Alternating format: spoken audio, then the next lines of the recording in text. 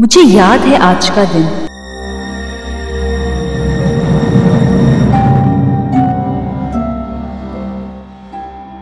आज ही के दिन 16 दिसंबर को निर्भया पर हमला हुआ था।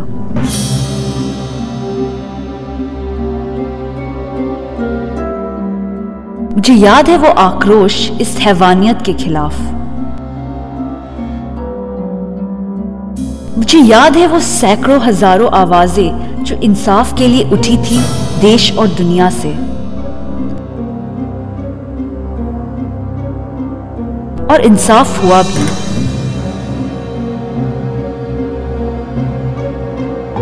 लेकिन हिंसा और बलात्कार जारी है। दिल्ली में निर्भया कांड के बाद बलात्कार की संख्या दुगनी बढ़ी है। हिंदुस्तान में हर 22 मिनट में एक नया रेप केस दर्ज होता है।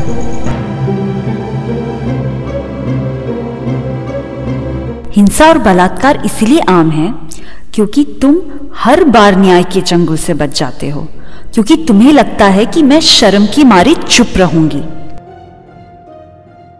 अगर मैं बोली भी तो तुम्हें लगता है कि तुम चुप करवा सकते हो।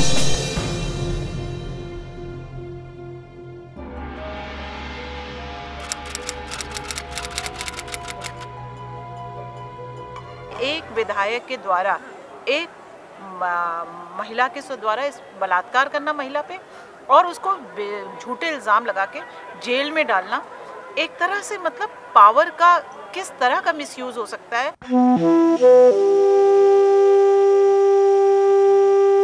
जब विधायक ऐसा करता है तो और आम लोगों की तो और हिम्मत बढ़ जाएगी। मुझे और मेरे परिवार को डरा धमकाकर तुम ये सुनिश्चित कर लेते हो कि मैं इस बारे में किसी को कुछ ना कहूँ। अगर मैं दलित हूँ तो ये धमकी और भी भयानक हो जाती है। और इसकी आँच में मेरा पूरा समुदाय भी जलता है। में भैंस गई थी। हाँ बापी पे ही नीचे बैठी थी। दोनों एक ने मुँह बाँध दो, आगे साफी थे। एक ने दोनों हाथ बांधे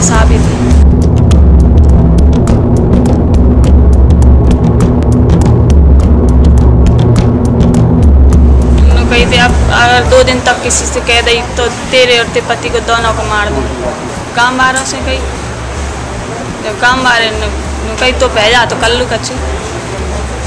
बिन लाए बिन, गुजरन की मोड़ी ने लाए, दोनों भी बिन के बाप खप्पा करके इनमें तो बता दो कौन सा मेरे जे दोनों इन करो मेरे संग में दोनों ने। बिन पंद्रह दिन आगे मोहलत दिन पंद्रह दिन आता तुम कच्छ मत के, हम दूसरा ढूंढ के देंगे तुम्हारे। मैं दूसरा नहीं जे मेरे साथ तो जिनने किया है।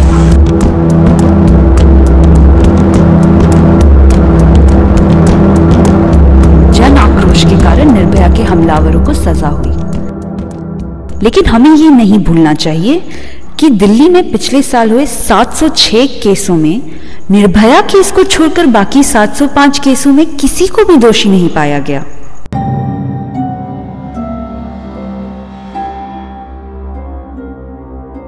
मेरे देश में सिर्फ़ 25 प्रतिशत केसों में सजा होती है। अगर मैं और मेरा परिवार रिपोर्ट करने की हिम्मत जुटाते हैं तो अक्सर पुलिस रिपोर्ट नहीं दर्ज करती।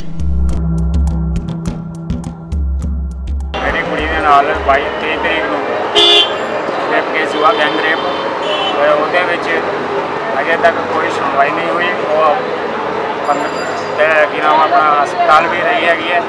ਤਾਂ ਹੁਣ ਵੀ ਦਾਖਲ ਹੈ। ਹੁਣ ਮੈਂ ਛੁੱਟੀ ਕੀਤੀ ਨਹੀਂ ਹੈਗੀ ਉਹਨਾਂ ਨੇ। ਤੇ ਨਾਲ ਅਜੇ ਤੱਕ ਉਹ ਮੁੰਡੇ ਫੜੇ ਨਹੀਂ ਗਏ। ਉਹ ਪੇਸ਼ੈਂਟ ਨੂੰ ਅਸੀਂ ਐਡਮਿਟ ਕਰਕੇ ਇਮੀਡੀਏਟਲੀ ਉਹਦੀ ਇਨਫੋਰਮੇਸ਼ਨ ਪੁਲਿਸ ਨੂੰ ਭੇਜ ਦਿੱਤੀ ਗਈ ਸੀ। ਉਸ ਤੋਂ ਬਾਅਦ 3 ਦਿਨ ਪੁਲਿਸ ਨੇ ਕੋਈ ਕਾਰਵਾਈ ਨਹੀਂ ਕੀਤੀ।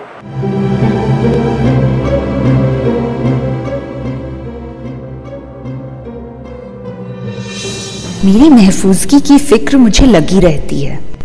और पितृसत्ता के नियमों पर चलने वाला ये समाज मेरी सुरक्षा के नाम पर मेरी ही आज़ादी को छीनता है।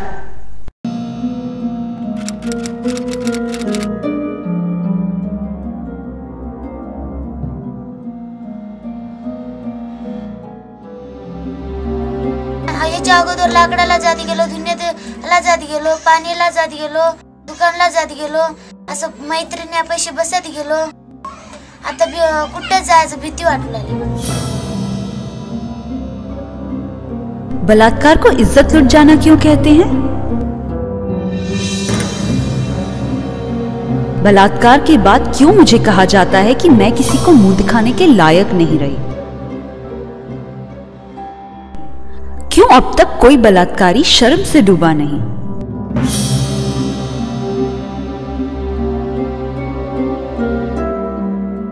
उनतीस तारीख को उनको सिजीरियन हुआ। ऑपरेशन ऑपरेशन के द्वारा उन्होंने एक बच्ची को जन्म दिया और तीस तारीख को तीन बजे उनकी मृत्यु हो गई और एक तारीख को मिट्टी हुआ। मिट्टी में भी गाँव वाले लोगों ने कोई सपोर्ट नहीं किया। यहाँ तक कि मिट्टी देने, जाने के लिए भी सब दूर दूर से देख रहे थे, लेकिन किसी ने आके इनकी मदद नहीं की।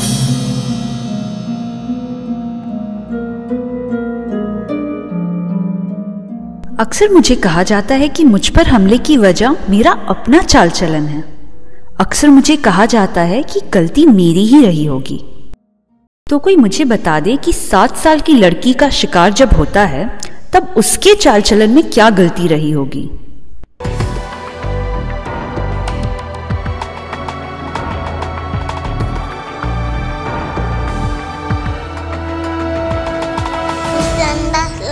होतं तर ते माणूस केतला चाललं होतं तर सोनं दाबून तिकडं नेलाय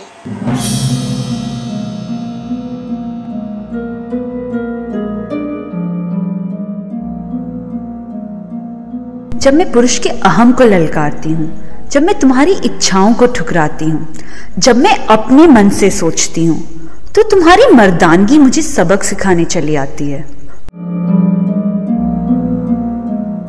पितृसत्ता का वजूद बनाए रखने के लिए बलात्कार एक हथियार है तुम्हारे लिए।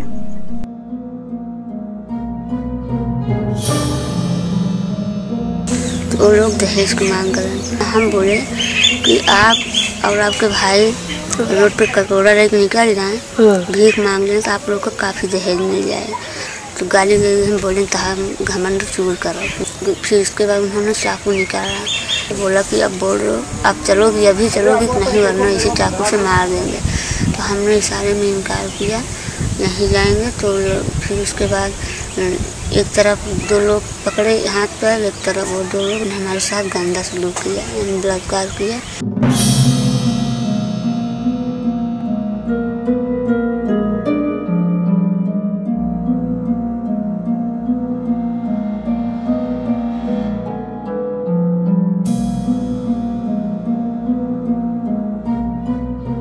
बलात्कार तब बंद होगा जब तुम मेरे शरीर को एक इस्तेमाल की चीज़ समझना छोड़ दो।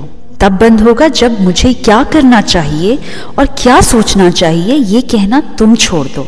तब बंद होगा जब तुम मेरा सौदा दहेज के साथ करना छोड़ दो। बलात्कार तब बंद होगा जब तुम ये अपेक्षा छोड़ दोगे कि मैं तुम्हारे लिए खाना बना दूँ और तुम्हारे कपड़े धो दूँ, सिर्फ़ इसलिए कि तुमने मुझसे शादी की है। तब बंद होगा जब मैं क्या कर सकती हूँ और क्या नहीं कर सकती हूँ यह तय करना तुम छोड़ दो। तब बंद होगा जब तुम मुझे अपने बराबर समझो। सिर्फ़ फुसलाने के लिए बराबरी नहीं, लेकिन बराबरी अधिकार में अवसर में, मिल्कियत में, जायदाद में। बराबरी हर उस चीज़ में जिसका मज़ा तुम युगों से उठाते आए हो।